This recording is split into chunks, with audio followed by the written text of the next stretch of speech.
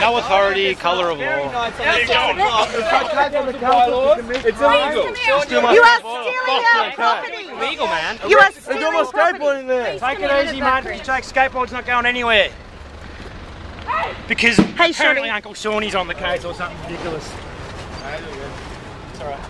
He's rotten back skinhead fascist. He's stealing from you on a daily basis.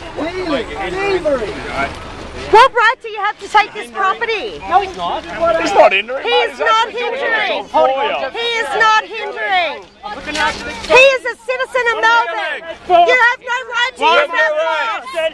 You are assaulting an individual of Melbourne. Why am I being arrested? Why is it being arrested? Why is he being arrested? Why is he being arrested? Why is he? Hey, hey! You just assaulted me. You just assaulted me. Who are you? What's your name badge, officer? I want to see your name badge.